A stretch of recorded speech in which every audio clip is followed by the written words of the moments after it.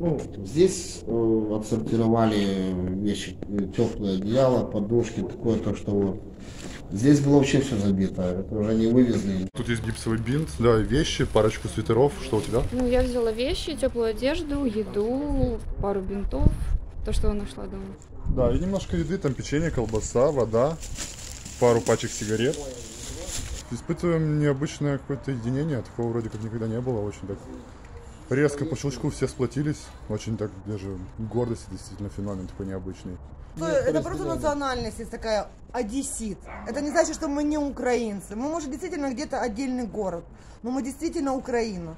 И мы за наших ребят. И мы верим, что у нас будет все хорошо. А помогать должно государство, да, должно. А тогда что будем делать мы? Просто сидеть дома на диванах?